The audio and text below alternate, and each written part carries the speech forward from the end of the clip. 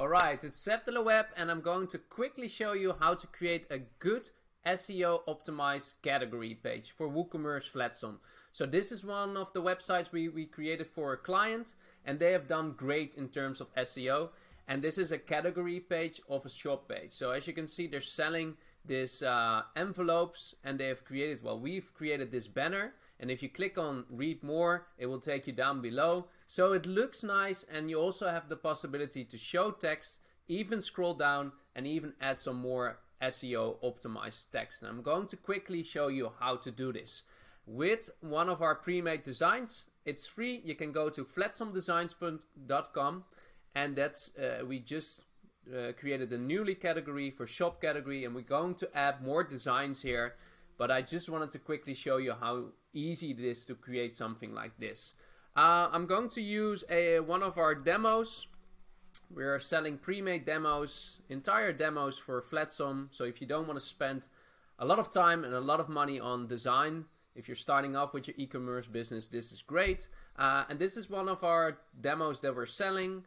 Uh, but if you have a look at one of the category pages, in this case jewelry, you don't see much of SEO um, going on here. So it's going to be hard for this demo or this website uh, to rank high in Google if you don't have any text. So I'm going to insert this specific design. We only have one design available now, but there's going to be more added. And as you can see, it's just text with even like a little bit of a support box and that's what we are going to uh, insert. I'm going to copy paste the shortcode. If you have an account, you can uh, freely copy paste the shortcode.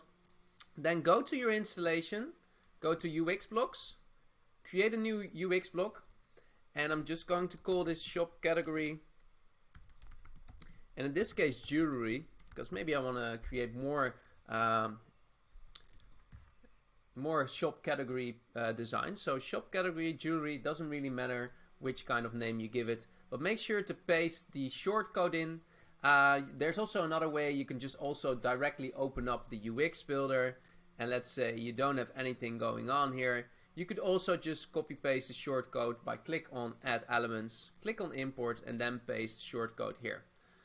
So this is the result and you can of course modify this. So in this case this should be jewelry, something like this and then you can optimize the text of course and then there's the read more button and that is important to keep uh, because at the moment it's linking to uh, hashtag more info and I will quickly show you how you can also change this but it is important because that will give you the scroll down to that will make it scroll down to the bottom of the page. Uh, here you have the support image box and you can change it and modify it to your needs of course.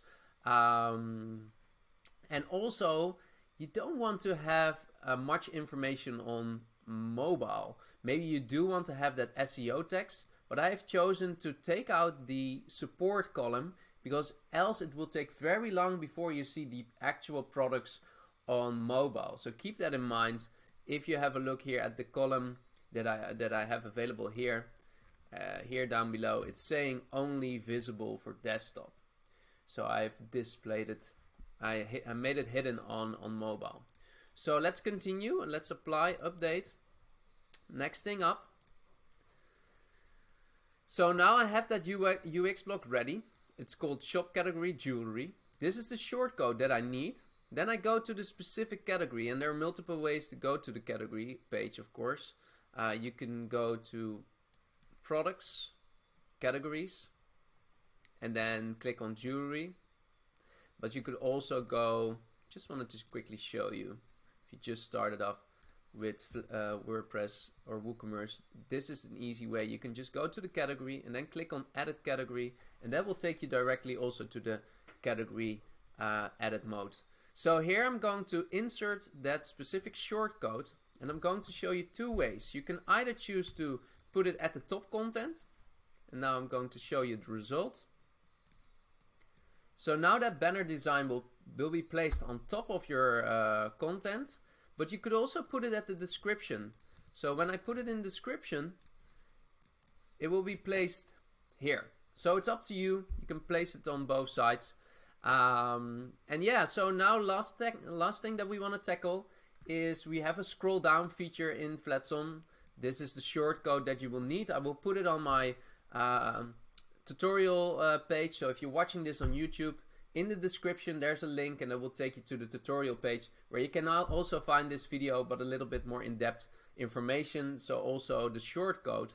Uh, but this is a shortcode that is already available by the native uh, options in Flatsome, so you don't need to have any plugin installed. So this only says scroll to more info, and you can place any kind of text.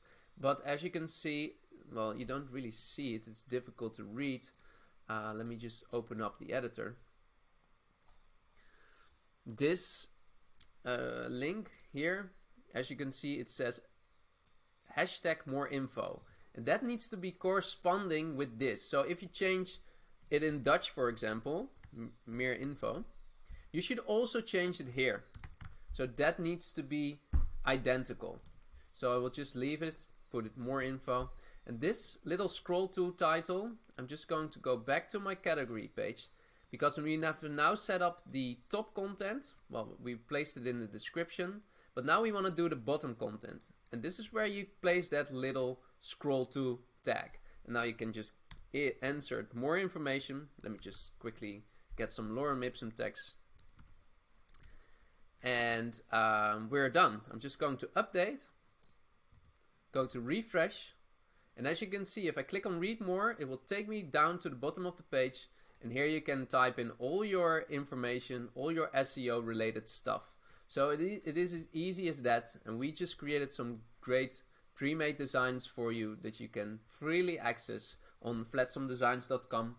And I think this is just a really good practice, uh, just to uh, you know um, optimize your category pages uh, for better organic search. So thanks again for watching. If you're watching this on YouTube, uh, subscribe to my channel and also have a look at sebdelaweb.com where you can find much more good stuff. And if you want to take your project to the next level, you can even book me and the team for a e-commerce like a web shop redesign and can book your free intake and you will have a 15 minute call with me. So have a great time and all the best with your project. Bye bye.